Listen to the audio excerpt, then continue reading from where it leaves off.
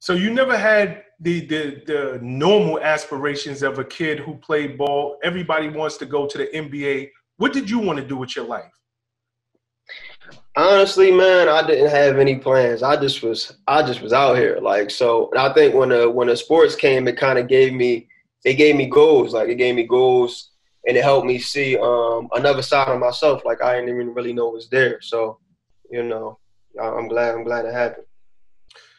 You know, it's it's interesting that you said you were just out here, and that's uh, one of the big reasons that I wanted to bring you on the show today because so many people they're just out here. They don't have plans. They want something more out of life. They just don't know what it is.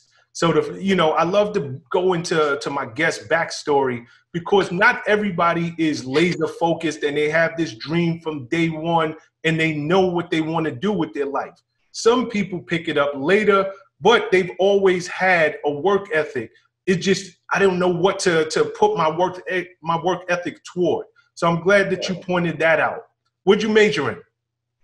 My major was uh, sociology, and then my um, I went to grad school. Grad school it was uh, sports management. So you went to grad school? Yeah. Oh, nice, nice. Good for you. So you graduate. Now you have a, a, a, bachelor's and a master's degree. What are you doing with your life? You go into the workforce, I'm assuming. What are you doing? All right. So my first job out of school, I was working in like a mail. It's like a mail room. Just sorting out mail. Um, this was like in Niagara Falls when I, because I went back there because uh, I had a daughter out there. I went back out there, stayed out there for a while.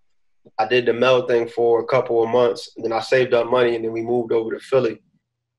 Um, and then Philly, I, I, did a little marketing, but for the for the most part, I was working with. Um, I got my I got my real job, like working with kids and you know doing that type of thing.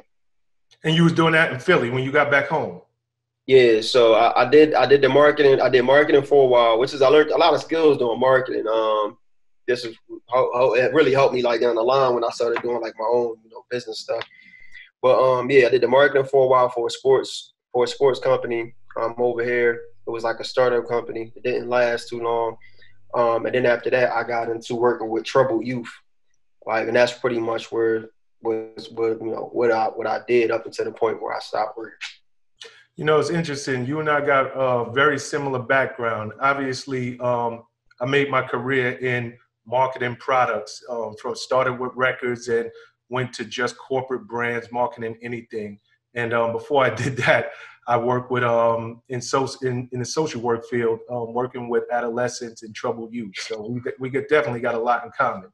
Yeah, yeah, that's that's a job right there, man. Social workers, that's whew, it's a lot. Yeah, you got to have your heart in that one. Yeah, yeah, it's a lot. Yeah. Um, are you still playing ball in your spare time, or you know, you're out of school, you're working, you're taking care of your daughter, you're taking care of your family, and you just say, you know what, sports is a thing of the past, and I'm done? Or did you do it just for kind of physical activity? All right, so it was like, so when I stopped, I stopped cold turkey. Like I didn't, I didn't play for like a year and some change, which is hard because I, you know, I was so programmed to playing like every day. Um, but now I do play like on my spare time, and it's mainly it's mainly because I, I got I had a, I had a kids like you know, so I just want to be I want to be good long enough to beat them when they get and then after that, like you know, I, I don't care, but I just got to be able to beat them for some time, and then once they get to the point where they you know about to go to college or something, I could take I could take a loss, but I'm not you know I got to stay ready until that point. Okay, tell me, you're in social work where does the vending machine business come into your life? Is this something that you always dreamed of? Did you know somebody who was in the business? How was it even introduced to you? So, um, so mainly when I when I was younger, you know, with the basketball thing, we had practice at recreation centers all the time. Like, so majority of our practice at rec, rec, rec centers. Um, my school was a new school at that time. We didn't have a gym. Mm-hmm. So all our practices and stuff were at, at different rec centers. Um, and on the weekends, we had practice at this one rec center. Um, it had a you know Gatorade machine in there. So on the on on that day that we had practice, uh, it was a lady who would always come and replenish the machine. So she'll come put more Gatorades in there. It was a snack machine too, but she I, always remember her from remember her from the Gatorade machine because that's where I was, I was sitting there. But she would come and put Gatorades in there and then collect the money. You know, and I'll just be sitting like right in front of her, like you know, And I seen like how much money she would take out every week, I was like, damn, them machines be making making some okay money. Like so, it was always in the back of my mind, like you know, I wanted one of those machines. And then you know, as I when I got older and started working, and I was looking for for ways to basically um, get out of work, like you know, or at least make extra uh, additional money, like on the side of work. You know, the vending machine thing popped back into my head, and that's when I started like pursuing it. Question for you: Was any part of you ever wanting to be an entrepreneur? I would say yes, but I didn't. But I didn't know what it was. Like, so I know, I know a, a big part of me wanted to um, you know, work for myself, especially especially after I had a family. I just wanted to be home more because I, I was working so much, and especially you might notice too. Like if you did like you know to work with the kids, like it requires a lot of your time. Does yeah, like, yeah, yeah. So I, I was really like out a lot, so I, I really wanted to create an income for myself, so just so I could be home more mainly. Yeah, so I would say it was always like in the back of my mind, but it wasn't until like later on I actually started it.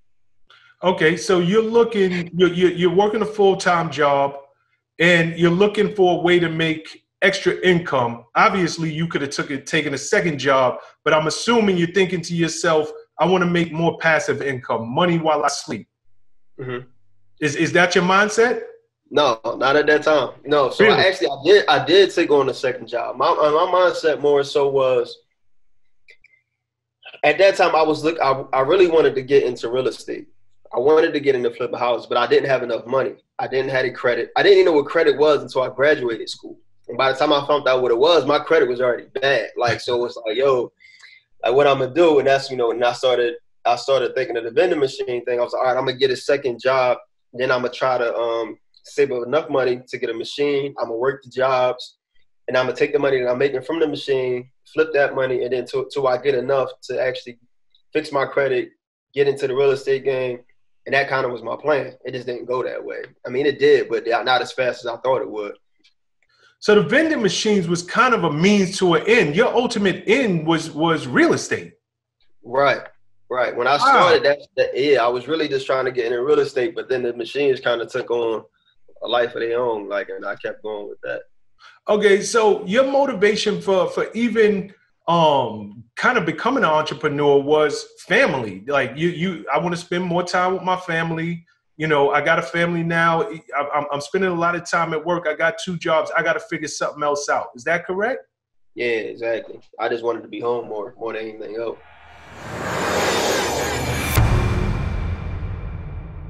What's up, guys? Thanks for sticking with me to the end of the video. Truly appreciate you. You like anything you heard here today, go ahead and hit that subscribe button. And if you know anybody that can benefit from this message, feel free to share. Peace and love.